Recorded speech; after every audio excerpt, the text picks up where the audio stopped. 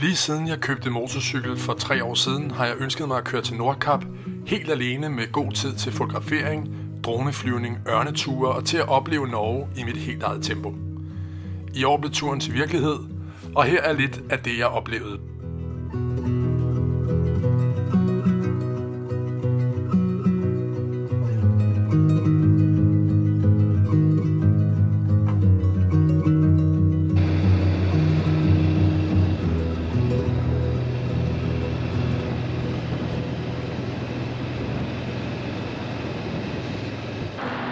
Så er det blevet dag 9, og i dag der er jeg i Narvik. Jeg overnattede jo i hytten tæt på Narvik, og nu er jeg kommet til selve Narvik, hvor morgenmaden den øh, bliver indtaget på øh, det, der efterhånden er ved at blive en vane, nemlig en shell. Det der med at finde øh, den gode bager og sådan noget, det synes jeg måske ikke lige er så nemt, når man er på tur.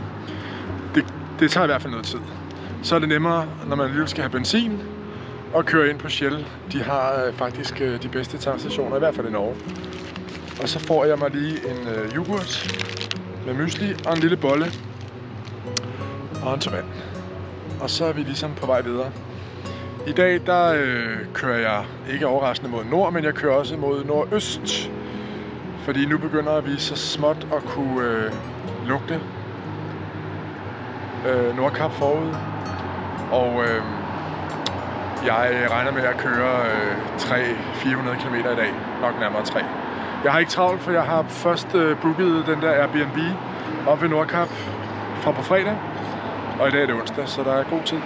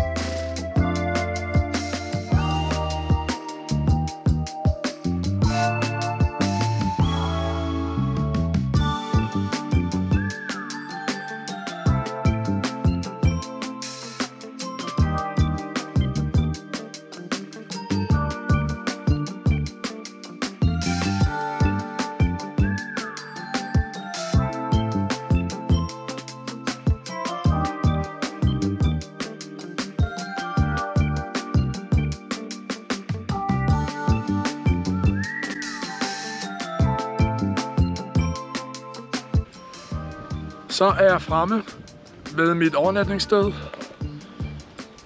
Der holder kværnen. Og øh, jeg er kommet til Sjørkosen, som er 350 km fra øh, der, hvor jeg startede i morges. Så vi er et sted mellem øh, Narvik og Alta. Noget tættere på Alta. Vi er i hvert fald øh, godt op i Arktis. 10 grader har det været i dag, sådan i rundetal. Fantastisk øh, område, jeg har kørt igennem.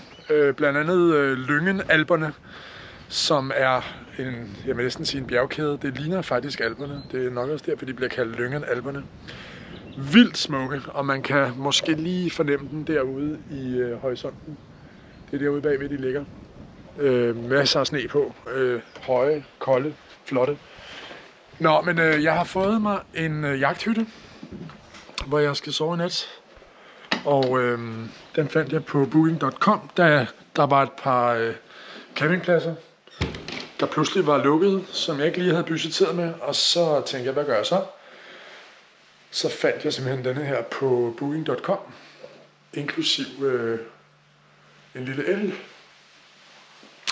Og øh, der er øh, meget mere plads, end jeg skal bruge. Og 9,3 på øh, booking. Adskillige værelser, inklusiv øh, mit værelse i nat, har jeg besluttet mig for. Der er også et med køjeseng og et med en enkelt seng, og så er der også lige øh, nogle øh, pelse. Så det er øh, simpelthen status for i dag onsdag den øh, 14. juli, hvor der nu kun er to dage til at ramme Nordkap.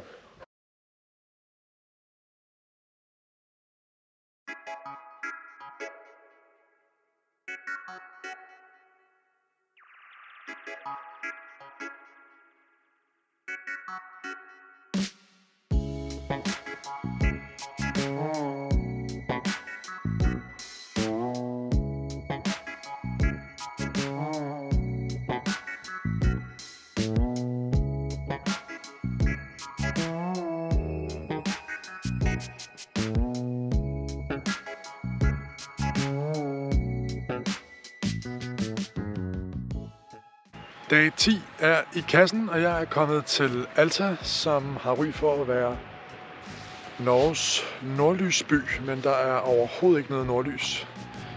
Men det er nok fordi, at øh, det er sommer, og solen ikke øh, går ned.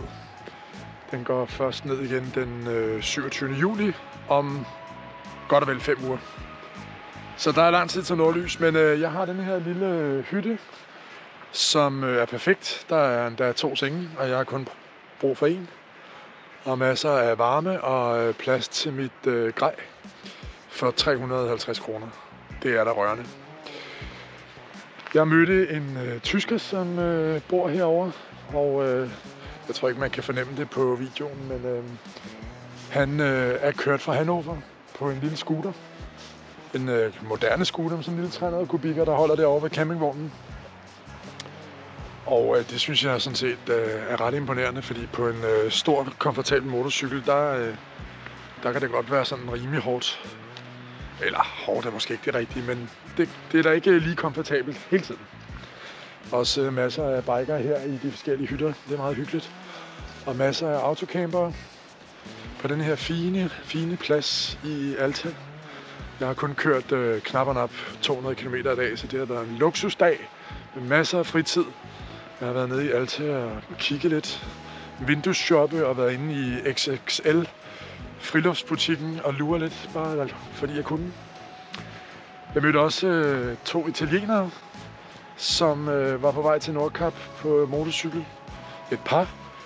Og øh, de kom, kommer fra Lecce i det sydligste Italien, så de har lige så langt til København, som der er fra København til Nordkøb, altså dobbelt så langt som mig, for at sige det på en anden måde. Imponerende.